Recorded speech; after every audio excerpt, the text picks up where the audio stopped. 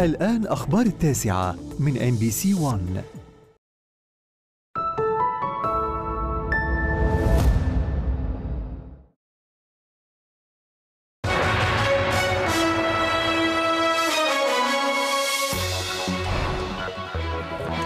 الدفاعات السعودية تعترض مسيرات مفخخة أطلقت باتجاه المملكة والتحالف يؤكد اتخاذ إجراءات صارمة لحماية المدنيين. الجيش اليمني يعلن عن ضربات موجعة لميليشيا الحوثي والأخيرة تستقدم تعزيزات بشرية تشمل أطفالاً. في أفغانستان وسط معارك مستعرة للسيطرة على ولاية بنشير الاستراتيجية طالبان ترجئ إعلان حكومتها.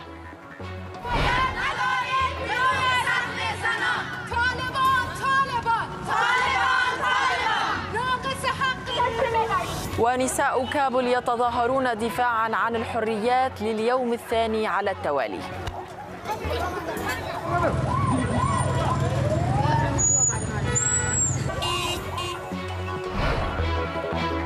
لن يتمكن الآخرون من رؤية تغريداتك القديمة.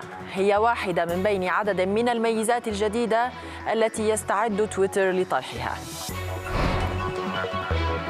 السعودية تحقق المركز الثاني عالميا في مجموعة العشرين بالتنافسية الرقمية. كانت هذه مشاهدينا أبرز العناوين لنشرة هذا المساء ومنها إلى التفاصيل.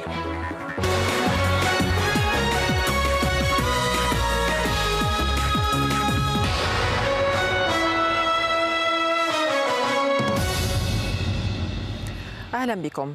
أعلن التحالف العربي لدعم الشرعية في اليمن مساء اليوم اعتراض وتدمير ثلاث طائرات مسيرة مفخخة أطلقتها ميليشيا الحوثي تجاه المنطقة الجنوبية بالسعودية.